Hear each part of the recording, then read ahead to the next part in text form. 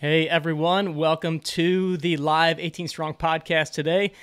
Today we have our buddy Nic Catterall here on the show, fitness extraordinaire, working with the PGA Tour players, and um, he is going to kind of give us a status on you know what's going on with a lot of these tour players, what's going on with their workouts, how he's working with his guys remotely, and now that everybody's kind of at home. So uh, want to bring him in in just a second. And first of all, I want to say thanks to our sponsors here on the podcast, which is Link Linksoul, Make Par Not War, our favorite apparel brand in the golf space, both for on the course and off the course. To get your 18 strong discount, your 20% off on anything Link Linksoul, go to 18strong.com slash Linksoul. You'll get the most updated code for your discount. As you can see, I've got my Link Linksoul cap on and I'm pretty much decked out in Link Linksoul every single day these days, both in the house and outside on the golf course, whatever it might be. All right, let's bring in our buddy Nic. Nic, what's hey. happening, man? Welcome to the show. Welcome back to the show, I should say. Yeah, thanks for having me back on. Um, obviously, it's an exciting um, experience with innovation happening with, uh, you know, Facebook Live or you know the live content that's going out these days because everyone's having to obviously push around and figure out new ways of dealing with things. So thanks for having me back on. Thanks. Yeah, it's good. yeah, you bet, man. It's it's awesome. It's almost like just kind of uh, sitting at the coffee shop having our having our cup of Joe and you know chatting with friends over over the line. Hopefully, with several people watching in tune. Um, so Absolutely, tell me, yeah. Tell me how how have you been kind of um, really passing the time because I know obviously you're on the road most of the weeks of the year working with the PGA Tour, and with that being shut down, I know you're working with your guys. But you personally, how are you spending most of your days, and what's kind of become your routine? Um, yeah, following the because um, I mean we, we got the word um, the Thursday night of the players um, in Jacksonville, so it's been kind of a whirlwind since then um, as to what I've had to prepare for my guys, what I've had to prepare for myself personally and uh, just the ways that we've had to sort of snap to uh, making decisions on what happens for the, the next period of time um, that we've got off. So, uh, me personally, my day looks like uh, get up in the morning, have a couple of coffees, and then jump on the computer, um, make sure that my programs are um, intact and, and are updated uh, for the guys that I have um, on the road. Basically, I the way I program is throughout the whole year, I have an online based system um, that we constantly refer back to and, and we use for trainings to make sure that um, everything is, is in context and compliant throughout the weeks. Um, but so basically, I jump on, do that. Um, I had to go and make my single car garage a gym, like most people did. They um, there was a massive dash for kettlebells, barbells, uh, plate weights, all the rest of it. So um, I was lucky enough to sort of get on the um, the early end of that, where it wasn't all bought out at this point in time. Um, we've got a, a company in Austin that I, I didn't realize was in Austin um, that that sells equipment, and um, I went in there probably about a month ago just to see what was in there, and then um, I had a quote um, from a guy that was there, and the quote was still valid. So uh, as soon as the uh, the COVID stuff came up and the tour got cancelled, um, I went and paid that uh, that nice. invoice. and uh, and then got a whole bunch of stuff in the in the garage. So now I've got a um, a garage gym with a weightlifting platform, uh, squat cage, um, barbell, plate weights, kettlebells, that kind of thing. So it's it's now it's kind of uh, got everything I need that um, that I can train. So um, Dylan, one of my guys, Dylan, who we talked about on the podcast last sure. time, um, he lives in Austin, and um, we've been sort of hammering it out probably about four or five times a week in there. So it's been good to have that ability to still train yet, um, whilst you know everything is still social distancing and quarantining. We've still been able to get really good work done. Yeah, very cool. T- take me back to um, when you were at the Players Championship because they refresh me if I'm wrong. They played the first day, right? And then did they cancel it the second day? How how did that that whole thing play out for you guys? Um, that was an interesting time because um, that week, at the start of the week, we'd learned that the NFL was putting things on hold, um, and a lot of the other sporting, the major sporting codes were starting to shut down. Um, like the I think the a couple of guys in the Utah Jazz got tested positive, and um, and that's when everything sort of from the the basketball side of things started to really close down and and postpone their season and so forth. So.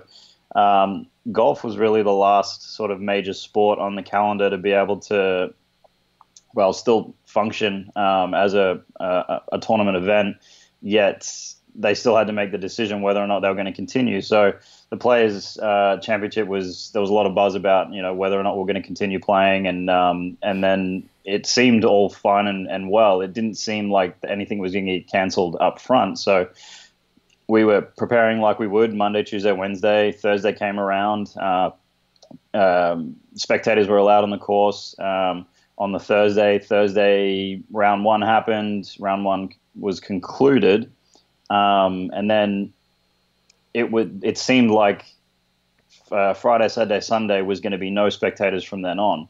So that was the word that was getting around at that point in time, where they were just going to be able to play because it's an it's out in the open environment. You know, it was going to be quite easy to to social distance at that point in time, just with no spectators on the course. So we did think that play was going to continue Friday, Saturday, Sunday, but um, we got a text late about 10:30 at night on uh, on the Thursday night. Um, I was staying with one of my guys. Um, and he came up and knocked on the door at 10:30 p.m. and said, uh, "Yeah, the the tournament just cancelled the event and um, has postponed all future tournaments up until I think it was the PGA at that point in time." So um, we were just a bit shocked and we weren't under, we, we just didn't know what to do. So um, we actually had a few beers on the, the Thursday night uh, and took it easy, and uh, and then sort of just started to lay out some ideas of what uh, the next sort of six to eight weeks was going to look like. So at that point, we were sort of just a little bit, you know,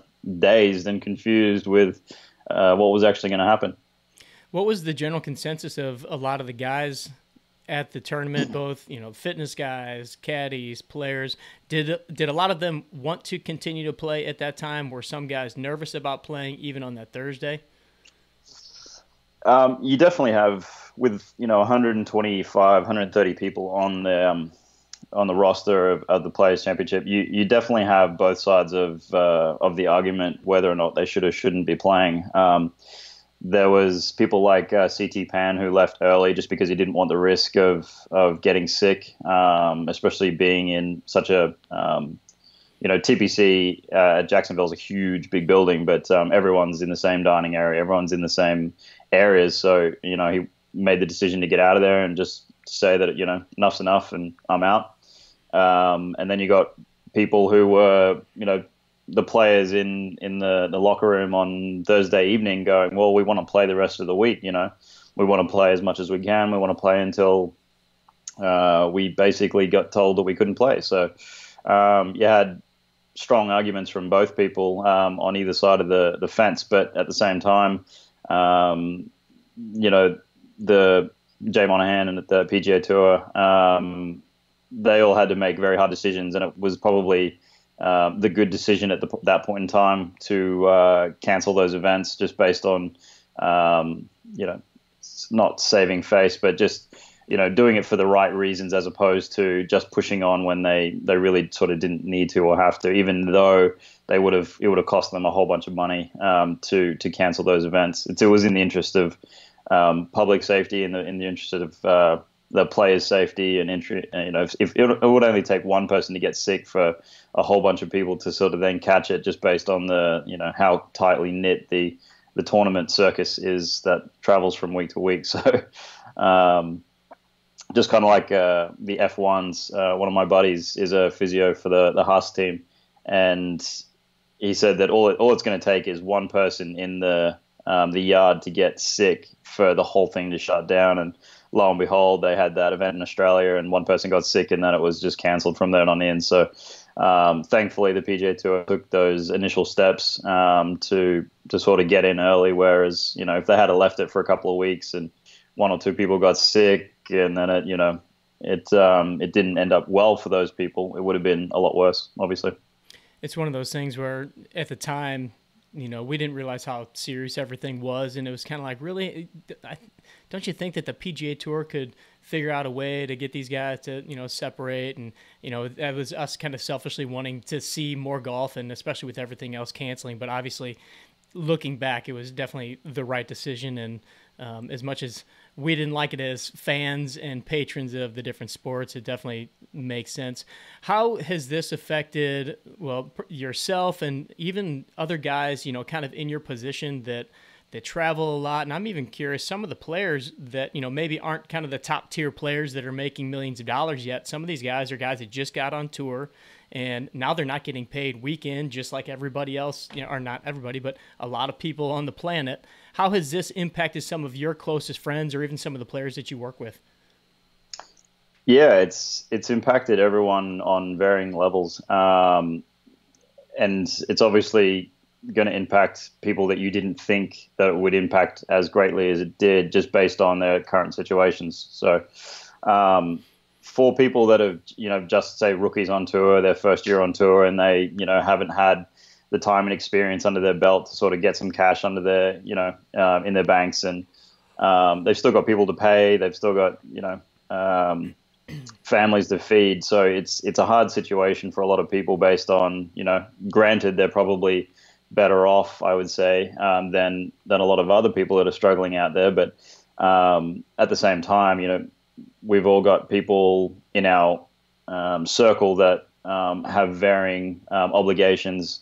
Um, they've got clinics, they've got you know gyms that aren't going to be open for the next couple of months. So you know there's lost revenue. They've got staff to employ or you know get rid of, unfortunately, due to the fact that they can't pay them because there's no income. So there's varying people out there that, that it's been hit harder than most, and then there's some that will sort of weather the storm better than others. So, um, like a whole bunch of caddies, I know they they don't have a regular retainer, so caddies are probably in a in a particular situation where they were relying on certain incomes for the next two months that that they won't they won't get at this point in time. Um, and caddies are a different breed anyway in relation to how they get paid and what they get paid. But at the same time, um, it's high risk reward, um, and so you know the high risk is obviously waiting out and holding out for those events that the, their guys do well. And unfortunately, if you take away uh, eight or nine of those events, there's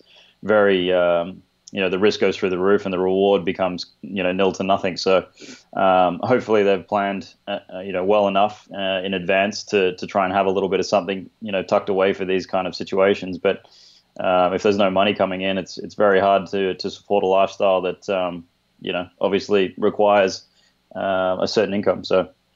Has the tour been keeping you guys up to date, or at least even your players, as to any new developments or any new timelines um, as far as what might be the first tournament that they're looking at having or what's going on with any of the majors?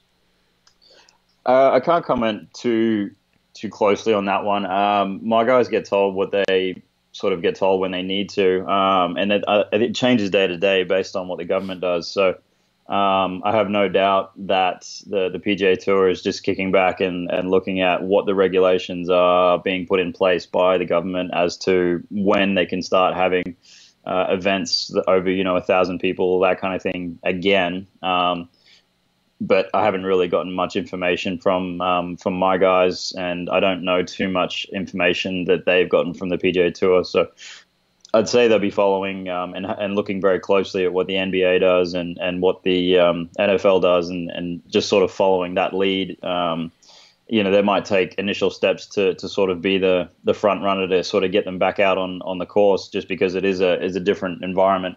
Um, you can sort of still restrict, uh, you know, spectators and whatnot if you do want to get back on the course, but at the same time, it's it is that there is still risk of, um, you know, of, of of sick people becoming sicker. So um, yeah, I'm not not too sure on the information flow there. Do you do you think we have any hope of there still being a Masters? I know that there's been talk about you know maybe October, November. Obviously, it all depends on what's going on. But do you think that, that, that that's even feasible, or you know, do you, what what do you have uh, in mind there?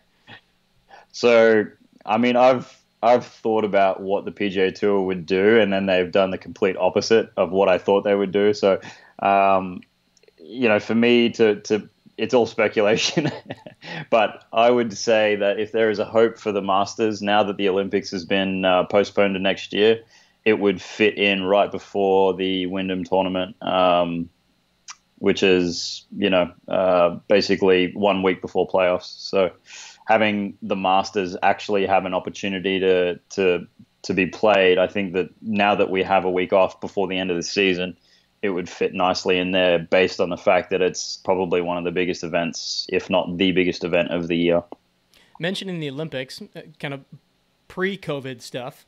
Um, what was kind of the mentality of guys that were looking at possibly going to the Olympics? I know, you know, four years ago, it was a little bit of a different story, and guys weren't. I forget what was going on at that time too, but there was something where guys didn't want to go. Uh, to... It was it was the Zika. yeah, that's right. Yeah, that seems like a like nothing now, right? But correct, what, yeah. Um, what were guys thinking about the Olympics this time around? Was it something that more guys were wanting to do and represent their country? Because I know like Rickie Fowler and the guys that went last time, I think it was Kuchar. You know, they hyped it up and talked about how great of an experience it was.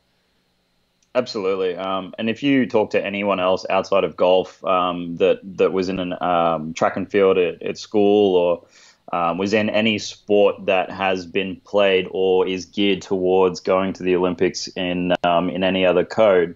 Um, you know, I always dreamed about being a, a soccer star going to the Olympics. You know, and it was it's something that that a lot of people that you know golf wasn't necessarily thought about as an Olympic sport. So um, there was a lot of talk on tour about, oh, it should only be amateurs, you know, it shouldn't be professionals, you know, professionals get paid, blah, blah, blah. But um, for me, the Olympics is the best of the best caliber of athlete um, competing in their event in any sport or any code. So um, to hear the guys come back from the Rio Olympics, um, and just tell everyone uh, what a, an amazing experience it was being amongst some of the best athletes in the world, if not you know, the the best athletes in the world at that point in time.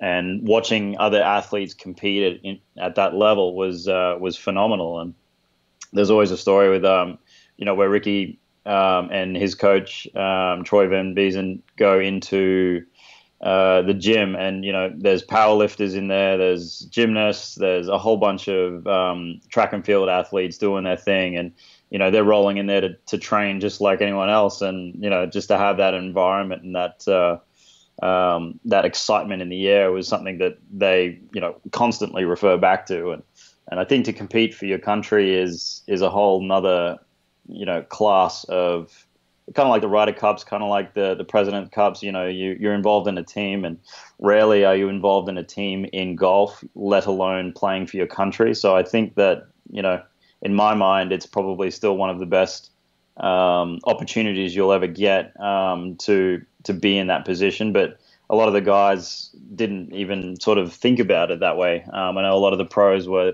just talking about you know that it shouldn't be played um, as as professionals. A lot of them said that, that, that just amateurs should be playing in the Olympics, and um, I know they obviously had their own reasons for that. But um, uh, the guys that came back, like Justin Rose, you know, said how what an amazing experience it was, and uh, I remember I got a photo with him uh, with his gold medal um, in uh, was it? It was was where were we? It was up in Long Island, um, one of the playoff events. Um, what is it? Four years ago now, um, and I, that was an exciting time for me. I had never really seen a medal before, but um, to see a gold medal, you know, with him, just super stoked to you know have it around his neck is just amazing. So. I think um, anyone that's been sort of talking to those guys will will actively want to play, but you'll always have some of the big guys that just want to focus on the tournament season and, and want to focus on the finals. So um, it is what it is. I mean, the the Olympic um, schedule wasn't going to be an easy one this year either because effectively you kind of have to be there for the first week um, where you have the opening ceremony. So I think it would have been where you're over in um, playing the British and then you you literally then jump on a plane to go to Japan for two weeks. So um, it wasn't going to be an easy schedule either way. So um, you know, for those guys that were obviously had their sights set on it, it would have been an amazing experience. But it would have been an easy, um, easy one to just sort of pass off for a lot of guys. Sure. You mentioned playing for your country in Ryder Cups and President's Cup. Have have any of your players been involved in, in either of those? Yeah, so um, um, I had a guy in the Seoul uh, President's Cup, and they said it was uh, absolutely amazing. And um, one of my guys, Cam Smith, just played in the President's Cup in Australia um, and did extremely well. And and you know, especially with the, the Aussie mentality, is you know that you you know you play for your mates, but you also play for your, your team and your country. But um, they seem to get into it a lot more than what some people would, um, just based on the fact that we love team sports in Australia as well.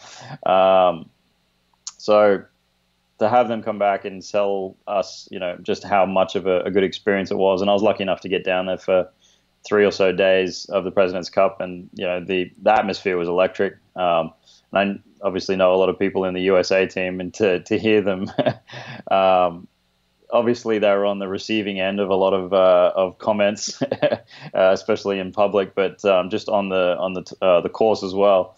Um, the crowd was actually really, you know, not favouring the uh, the Australian side, uh, sorry, the international team, but they were favouring a lot of the Aussies that were playing, but uh, there was definitely a lot of USA supporters out there and, and quite vocal USA supporters as well. So, I mean, um, the guys that went said they had an amazing time, and Melbourne's obviously an, uh, an awesome place. So, um, it'll be very interesting to see what the, the next one's like in, in the USA. Yeah, that was such an exciting one to watch. You know, I think a lot of times the President's Cup kind of takes a bit of a backseat to the Ryder Cup and this one was so close and you know it was such a nail biter to watch that it was awesome plus just the setting of it. It was at royal melbourne right? And i mean that place just just looked incredible and many say that that's one of the top two courses ever made you know for for people to play not just professional golf but any kind of golf on. Have you ever played it yourself? No no. Um if like my I look around that that course, I would be losing balls left, right, and center. So um, it's not something that that I endeavor to play. I have enjoyed walking around it many times, um, but it's not something that I'm like oh, I've got to go and play this course like a lot of people would. Um, it's just you know you can't get much of a better um, so like the sandbelt um, courses that they have down there uh, very very different to what you have in the rest of the world. The way it was um, designed, the the the layout, the um, the way that they did the event too was was really good um, because you had lots of viewing um, positions, um, but it's also quite a difficult course to get around and and take advantage of of those viewing points just because of the the design of the course. So. Um, it was good for spectators in a lot of areas, and then it wasn't so good for spectators in a lot of areas. Um, but to play the course, I'm sure is is up there on people's uh, top hit list, um, just due to the way that the, the course was designed, the the sand belt, you know, um, courses, and just like it is up like in Pebble Beach, you know, it's it's very scenic. Um, but yeah, it's on the it's on the hit list for sure. What's when you're there at an event? Because obviously you're inside the ropes, you're working with the guys. How is it different from your perspective as far as just the the excitement amongst the players. You know, obviously it's it's the team event. It's different and kind of day to day. What's different the way that you guys interact and go about your business? Maybe practicing things like that. Are the guys more involved together when they're warming up and practicing, or they still kind of have their own routines and do their own thing? Um, I think with the like the team events like the President's Cup, it's it's very much a um, you get that team environment where you practice together, you play together. Um, you know, I wasn't directly involved with the team this this time around, um, which is you know it. You have your individual guys there that um, look after you guys, but at the same time, like when you when you have um, you know a team of I don't know, let's just say 20 people um, that you've got to uh, look after in terms of playing on the course um, practicing, um, you know, doing short game. Everyone's got their own routines. However, everyone needs to have their own routines whilst being in the team environment. So they practice together, they play together, whilst doing their own thing. They still do it together. right. so I think Ernie Els did a really good time, um, did really well with the international team this time around. Um, um, you know, the logo, the branding, um, the the way that the team sort of uh, felt, I suppose, was quite different to, to previous years. So um, I think that was largely due to um, what he wanted to do with the team, which was fantastic. Uh, and I don't think we've seen a President's Cup team do, you know, so well, so close. You know, have it come down to the last day um, like they did. Um, so it was a credit to them in what they did. Yeah, the branding was cool. I, you know, they had the different logos and everything. It really it looked pretty sharp, which I think you know to many people might not be a big deal, but I think that also gives the players a little bit more pride in, in playing and you know being a part of that team. You always want to wear a cool jersey and have a have a great logo and you know represent.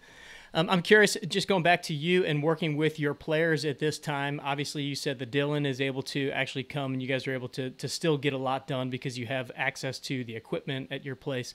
Uh, but some of the other guys, and, every player is going to be different. I think we talked about that on the last show that that we were uh, had you on. That you know you've got different guys that have just different mentalities as far as it goes when it's their training methods and things like that.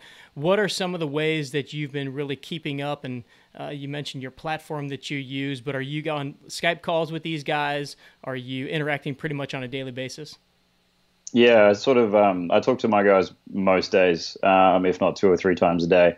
Um, there's always questions surrounding, you know, what you should and shouldn't be doing, as in, like, am I doing this right, or um, so there's videos back and forth. There's um, you know program updates, so I can see what they've logged um, from their homes. Uh, I can see how many sessions they've done for the week, and then I can um, calculate you know um, various volumes and intensities off that.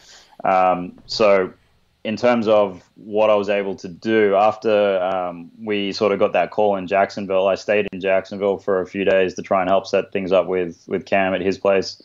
Um, and then I drove to Augusta to see some of my other guys and set things up there at home. So, um, for a lot of people, this this time could be, you know, just a, a time off, a break. You know, it's kind of like uh, what Phil Mickelson um, put out over over Twitter not too long ago. He's like, um, you know, I've got this time. I can use it in two different ways. I can, you know, get get strong, get powerful, get fast, um, or I can sit on the couch and and you know drink wine and, and watch TV. Um, and he said that the latter was winning at that point in time. So um, very rarely do we get periods of this time in golf, and for some people, it's going to be a time where they literally do nothing, um, spend it with family, just relax, um, because to be honest with you, like you don't get that amount of time um, at home when you're a professional golfer unless you're, you know, sort of running your own schedule. Um, so for those guys, it's it's a period of uh, of time to, to decompress, um, refocus, um, get hungry again um, if they've been playing a lot of golf, um, and then for other guys uh, like my guys, I I've just been basically trying to push onto them that this is a gift, you know. Um, eight weeks is is a lot of training time, um, and it's if you ever wanted to get you know better at something, whether it be strength or speed or um, just having a more resilient body, this is the time to do it. Based on the fact that there is no competitive stress going on at this point in time, um, you can be completely recovered every day if you if you do the right things. Um, so managing the loads from week to week is is very important. Um, and progressively getting better over this this period of time can really sort of focus you well coming into whatever tournament we we end up back at. Which I think at this point is going to be the Fort Worth event if it doesn't get pushed further along. So I think um, the PGA has been postponed, the Byron Nelson's been postponed, and I think the the the first event back will be the Fort Worth event, um, which is Colonial. I think it's now I I don't know what it is now. I think it's Amex or something, maybe. Um, but yeah, so um, to have this period of time for a lot of guys is going to be amazing. So, um, you know, it's kind of like, kind of like too, if uh, if everyone has the same period of time off, um, those who use it wisely will do better towards the the rest of the season. Whereas those who don't use it wisely and um, possibly have a few more beers throughout the week, or you know, like sit and do nothing. Um, whilst they they are allowed to do that, there are other guys out there that are doing all that they can to try and get to to the finish line um, in the best shape that they can. So for me, I was always going to use this as an off season, um, off season, um, and and repurpose, refocus, and um, put in some goals that that are obtainable so that we can get you know hit the ground running when we we get back on tour for most of these guys, this is like the only real off season they've had in a couple of years because most of the time they, you know, they're playing almost every single weekend or you know a couple weekends a month. Absolutely. Um, and you know, I had this really nice, neatly laid out um, annual plan at the start of the season, and it turned to shit basically. um, so, you know, it's it's it's one of those things that you got to refocus and uh, and figure out what you actually want to do and what you want to have out of this time. So, um, you know, if if having an off season where you have four weeks off, you don't touch the clubs or you don't touch the, you don't step in foot in the gym, is what you really need, um, and you think that you'll gain something out of it, and then you have four weeks worth of intense training coming back. So be it. That's that's probably you know the best thing for a few guys, and and mentally, you know, golf is such a mental game, right? So if you're finding that uh, you were a little bit burnt out coming out of the the players event, um, you know, have three weeks off. Um, set your sights on on having a, a five week um, you know intensive program coming up to the start of the season again, the start of the middle season.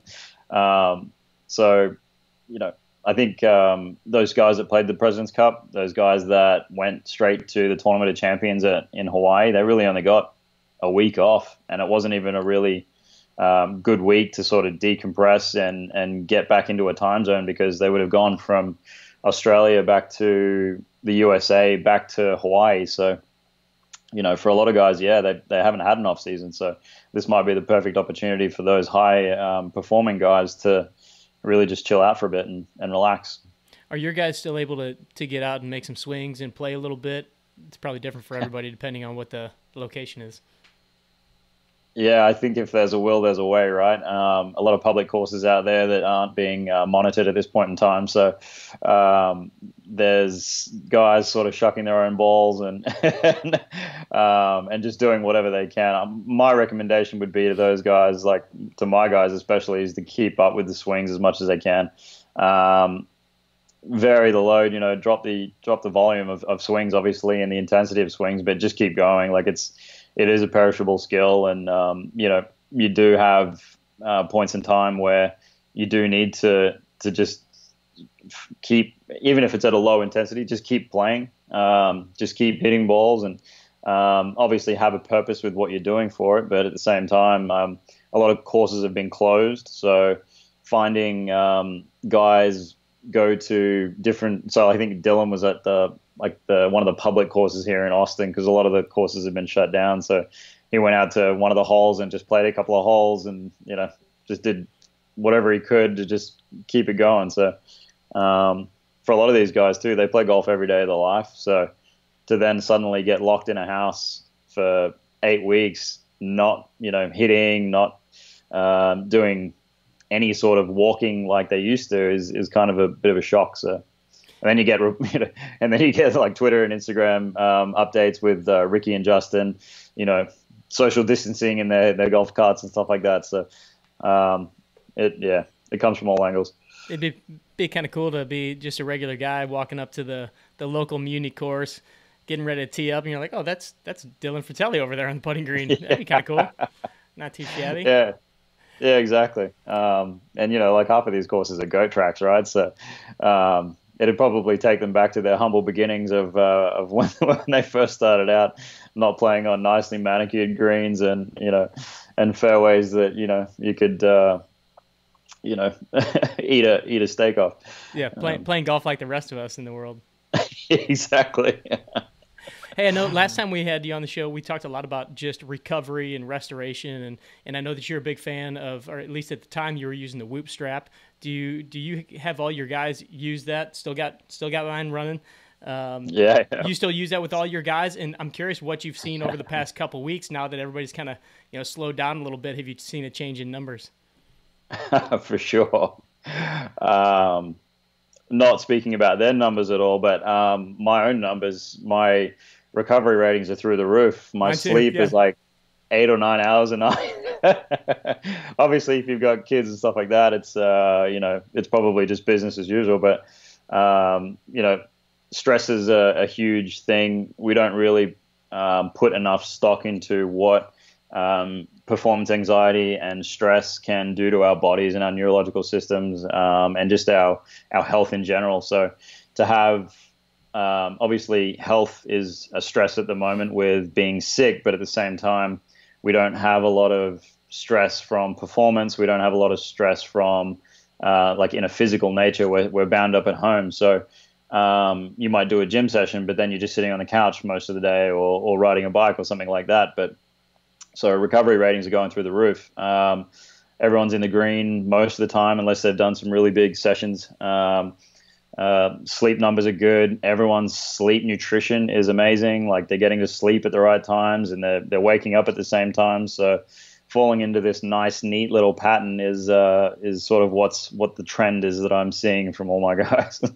yeah, it's interesting to see what happens when we're kind of forced to slow our lives down, and you know the the benefits that come with something crazy like what's going on in the world. I'm curious, just for you personally, what has been uh, the the worst and most challenging part of this whole thing, you know, being stuck at home and, and the distance with the, the players and whatever it might be. And then what also has been the best thing to come out of it for you personally?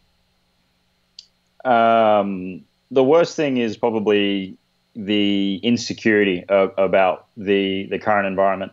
Um, job security. I know a lot of people out there have lost their jobs. Um, a lot of people out there who have um, been given options to to reduce in numbers or take holiday right now, that kind of things. Um, so job security is always a stress, um, especially in this environment. Um, so I'm, you know, in a fortunate position where I know my guys really well, and I'm, you know, I'm still working with my guys, you know, if with it from afar, but um, job security is always going to be a stress around this kind of thing. Um, like I know a lot of strength and conditioning coaches and, and therapists back in Australia who have worked for clubs for a long time and they've lost their jobs um, just due to the fact that they're, to, to put it bluntly, we're in the entertainment industry. Um, and if we can't entertain anyone, there's no money coming in. So naturally, there's, uh, there's a whole bunch of jobs that aren't on the table anymore. So um, that probably is is the main stress. Um, just being at home for me is a big win. Um, I don't usually get a lot of time at home. Um, not doing anything too, like you, you're basically homebound, which is is such a rarity. So I think this is going to be a really good thing for a lot of people. Um, it could be possibly a bad thing too. I don't know. I think that the divorce rates are probably going to go up a little bit, and and and the opportunity. I think we're going to have a whole bunch of kids born in January as well next year. So, um, you know, it kind of goes both ways. If you if you need that time at home, this is the time that you can really spend with your family, get to know them again, and uh, enjoy enjoy that time being together and and you know um, feeling that presence. But um, for a lot of people too, if if they didn't necessarily have things uh, at home that were um, uh, in a, a kosher setting. And if you know what I mean, if things weren't good at home, then you know being at home full time is is definitely going to make that go one way or the other. yeah, it's almost like things, whatever direction you were heading, it's just going to escalate because of the, the closer proximity. I, I, know you're a big reader. I know you like to educate yourself. And and what are you reading? Anything in particular, whether it be for education or just for fun? And then, uh, of course, I want to know what you're binging on on Netflix or Amazon Prime or whatever too. Oh yeah. Um, so last first, I'll do Amazon. Um, I think we're doing Hunters at the moment, which is the um, Nazis in the USA. The the Jews are hunting the Nazis in the USA. That kind of thing. Okay. Uh, so that was a, a pretty good uh, show. Um, also going back to do Homeland. I never uh, saw I never really yeah, no, I was the same. And then um, one of my guys was like, "You should really do Homeland from the beginning," because I didn't realize I had like six seasons. I was like, "Holy shit!" So I'm going back to do that again. I'm through to the second season. Um, still keeping up with reading. I'm doing a lot of mentoring sessions at the moment because I've got available time. Um, so there's some uh, really educated people in the world um, in strength and conditioning, and um, in in physical therapy as well that I'm sort of getting or have the time to chat to now, and um, which is amazing because normally uh, a lot of the education has to come from either you reading something or um, you going to a conference and whatnot. But um, now that I actually have time to chat with these people properly and they're at home, I'm at home, there's no reason why we shouldn't be able to chat.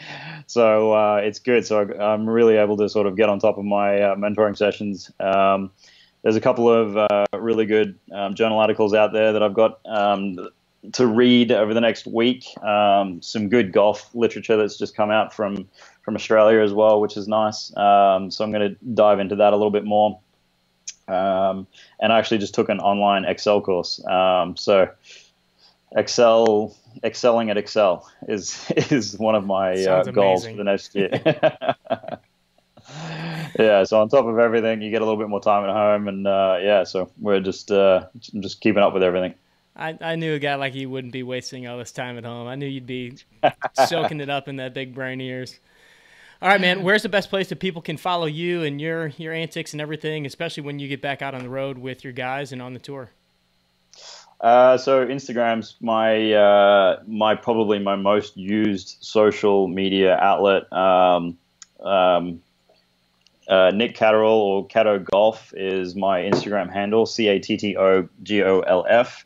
Um, I basically just post a whole bunch of random stuff on that um, just for fun, shits and giggles. If it's not fun, it's not worth posting. Um, and then uh, my website is currently being improved, but I think it's up, which is uh, cattogolf.com. So um, yeah, anything that I um, have or post or be diving into over the next sort of six to eight weeks will be basically bounced off those two uh, sites. yeah. Sounds good. Any last piece of advice for the audience before we let you go? Um, get out, do something. Uh, don't get out, out. Just like walk around your block. But if you find yourself getting a little bit of cabin fever, uh, you know, uh, get into the garden. Um, you know, go for a walk. Don't necessarily have to be uh, out in the public. Even just go for a drive and get back home. You don't have to go anywhere.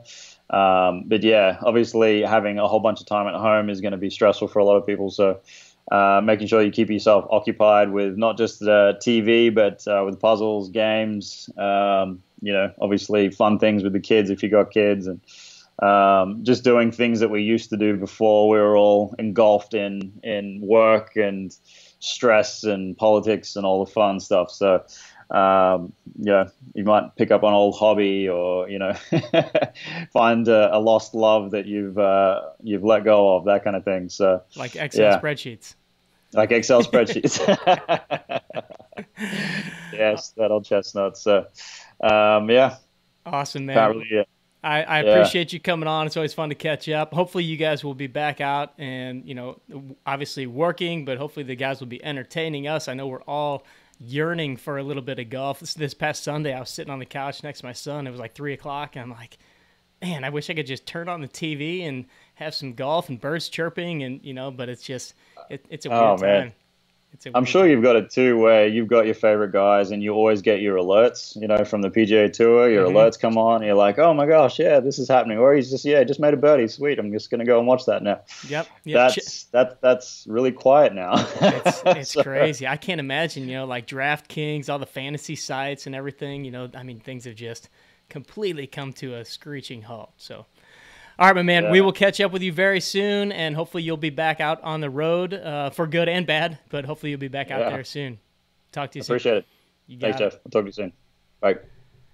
All right, everybody. I want to thank you for joining us here on the live 18 Strong podcast. This is episode number 279. So once this goes out onto iTunes. You can find it over there on all of the podcast platforms that you can find on your mobile devices. I want to thank Nic for being on the show, and I want to thank our sponsor for this week's episode, which is, as, as always, Linksoul for making such great apparel and keeping us decked out here over at 18 Strong. And just for everything that they're doing for the world of golf, go to 18strong.com slash linksoul to get your 20% off discount code for anything in your cart. And if you're not a part of our 18 Strong Facebook group, the 18 Strong Movement over on Facebook, go there and you can follow along on all the different antics in there, ask your questions.